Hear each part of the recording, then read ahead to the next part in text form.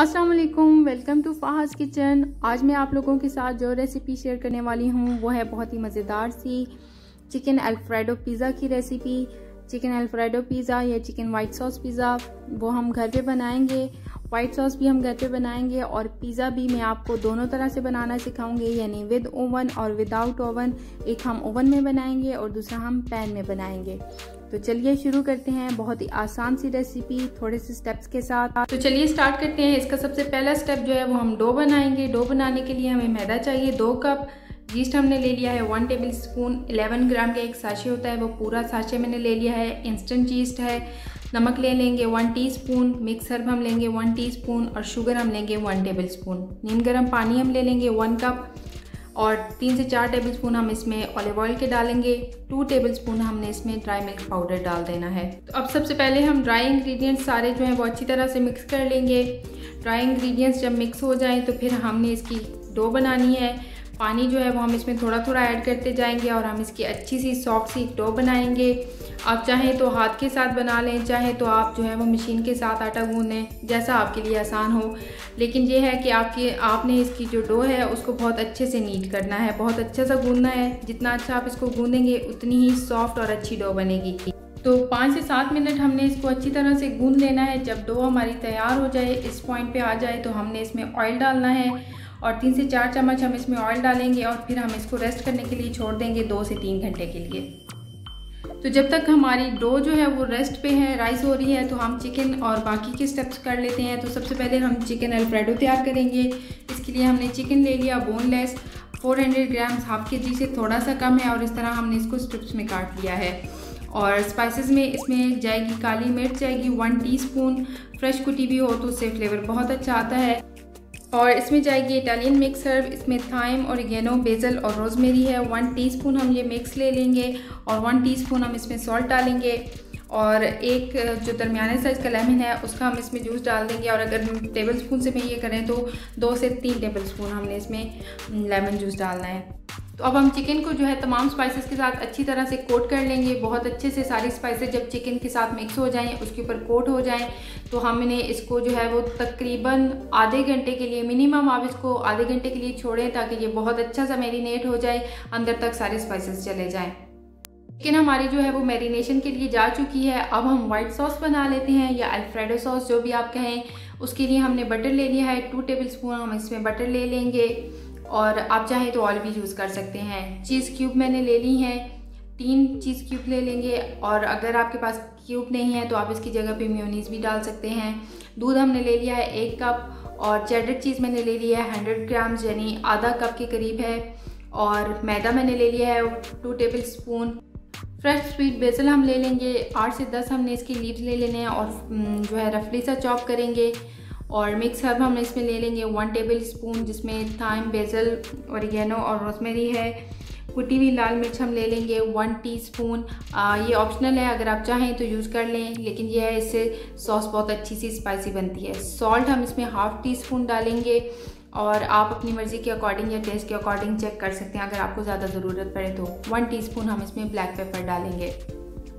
अब हमने मीडियम सा जो है वो हीट ऑन की है। सॉस पैन अपना चूल्हे पे रख दिया है बटर हमने इसमें डाल दिया है। बटर जब हल्का सा मेल्ट होना शुरू होगा तो रफली से चॉप किया हुआ हमने गार्लिक तकरीबन वन टेबल स्पून दो से तीन जब गार्लिक के बनते हैं। ये इसको फ्रेशली रफली चॉप किया है हमने और उसको हमने बटर में डाल दिया है। बस हम इसको ट्वेंटी से थर्टी सेकेंड के लिए सौते करेंगे और फिर हम अपने सारे स्पाइसेस जो हैं वो इसमें डाल देंगे बटर में।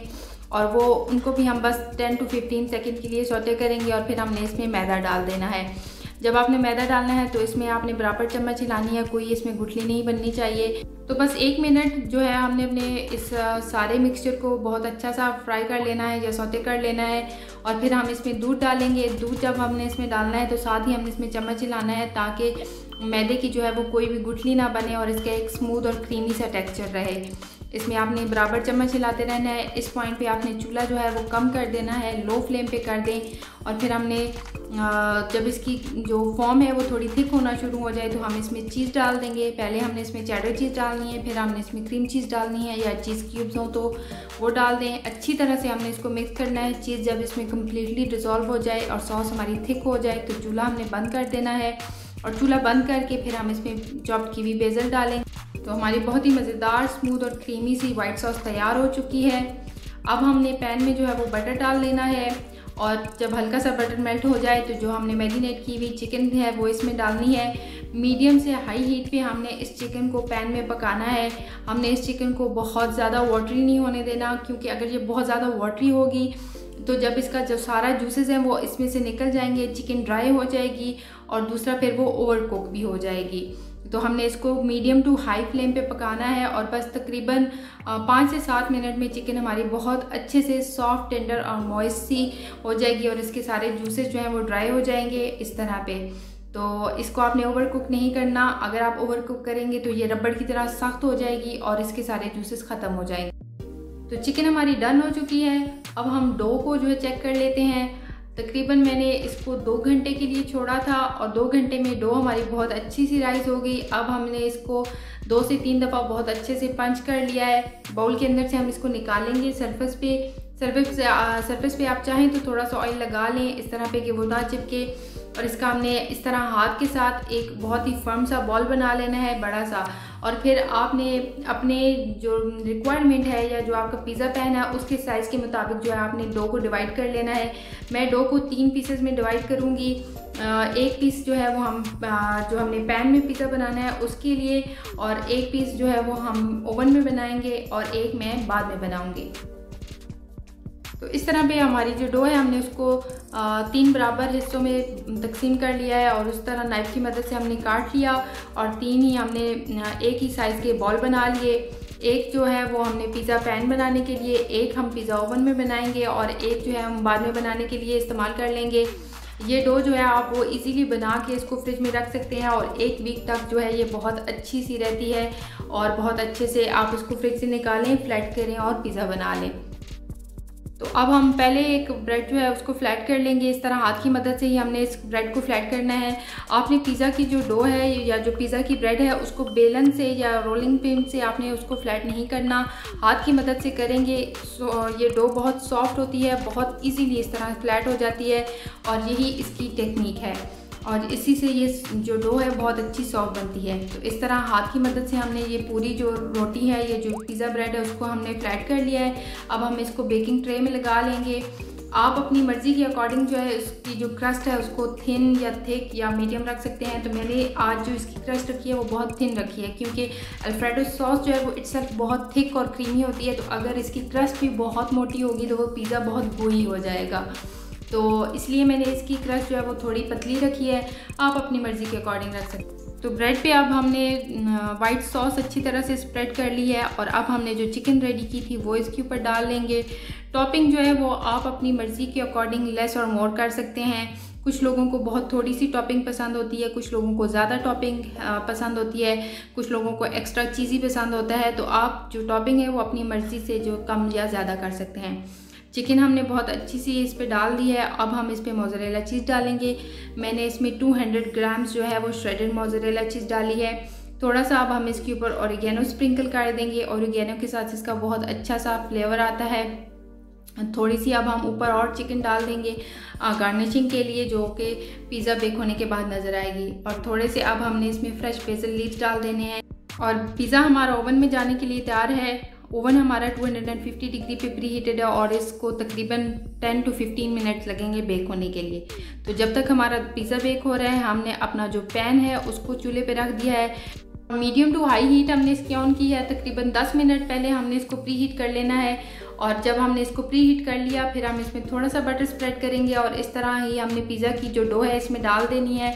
पैन में और हमने इसका लिड लगा देना है। अब लिड जब पिज़्ज़ा की डो हमने इसमें डालनी है तो चूल्हा हमने बिल्कुल कम कर देना है। दो से तीन मिनट बाद हमने लिड ओपन करनी है और पिज़्ज़ा की जो डो है, उसको हमने फ्लिप कर लेना है। तो देखिए, बहुत अच्छी सी गोल्डन ब्राउन सी क्रस्ट हो गई है एक साइड से। तो हमें बिल्कुल ऐसे चाहिए। अब हमने ऊपर वाली साइड पे सारा इसका वाइट सॉस लगा लेना है बहुत अच्छे से। इस तरह पे वाइट सॉस हमने बहुत अच्छा सा इस पर स्प्रेड तो इस स्टेज पे अब इसका जो चूल्हा है, वो बहुत ही लो फ्लेम पे है। अगर मीडियम या हाई फ्लेम पे होगा तो पिज़्ज़े की जो क्रस्ट है वो नीचे से जल जाएगी। तो यहाँ पे आपने इस बात का ध्यान रखना है कि यहाँ पे इसकी जो फ्लेम है वो बिल्कुल ऐसी होनी चाहिए, जब हम चावलों को दम लगाते हैं तो जितना हमारा चूल्हे का फ्लेम होता है उतना ही होना चाहिए। तो सॉस डालने के बाद इस पर हमने चिकन डाली और चिकन डालने के बाद अब हमने इसमें मोजरेला चीज़ डाल दी। मोजरेला चीज़ के ऊपर अब हम थोड़े से फ्रेश बेसन लीव लगाएँगे और ढक्कन हमने बंद कर देना है और हमने इसको दम लगा देना है तकरीबन आठ से दस मिनट पे। ये बिल्कुल स्लो फ्लेम पे पकेगा और एट टू टेन मिनट्स के बाद हम इसकी लिड ओपन करेंगे। तो देखें, बहुत ही शानदार सा हमारा पिज़्ज़ा तैयार हो चुका है। चीज़ बहुत अच्छी सी मेल्ट हो चुकी है। ये बिल्कुल करीब करीब ऐसे ही बनता है, जैसे ओवन में बनता है। बस ये है कि इसकी जो चीज़ है या जो क्रस्ट है, वो ऊपर से गोल्डन नहीं होती, जैसे कि ओवन में होती है। बाकी हमारा जो पिज़्ज़ा है, वो ओवन और पैन में बिल्कुल सेम बनता है। तो आप देखें, बहुत ही नाइस और बहुत ही मज़ेदार सा पिज़्ज़ा जो है, वो पैन में भी तैयार हो चुका है। तो अब हम अपना ओवन वाला पिज़्ज़ा चेक कर लेते हैं। आप देखें, ये डिफरेंस होता है कि जो चीज़ है वो इस तरह से ऊपर से गोल्डन नहीं होती, बाकी पिज़्ज़ा बिल्कुल सेम वैसे का वैसा ही बनता है। तो गर्मा गर्म हमने इसको स्लाइसेस में कट कर लेना है, क्योंकि जब पिज़्ज़ा गर्म होता है तो वो इजीली स्लाइसेस में कट हो जाता है और बहुत ही मज़ेदार सा हमारा क्रीमी क्रीमी, चीज़ी चीज़ी सा पिज़्ज़ा तैयार है। इसको आप पोटैटो वेजेस के साथ सर्व करें। आप इसको होममेड फ्रेंच फ्राइज़ के साथ सर्व करें या एज इट इज़ इसको सर्व करें। बहुत ही डिलीशियस चीज़ी और बहुत ही मज़ेदार सा पिज़्ज़ा हमारा तैयार है। इसको बनाएँ और इन्जॉय करें। और अगर आपके पास ओवन नहीं है तो अभी कोई हेडेक नहीं है, आपके पास कोई बहाना नहीं, आप इसको ओवन के बगैर भी बहुत मज़ेदार सा पैन में भी तैयार कर सकते हैं। तो उम्मीद करती हूँ कि आपको ये रेसिपी बहुत पसंद आएगी। देखने का बहुत शुक्रिया। अल्लाह हाफिज़।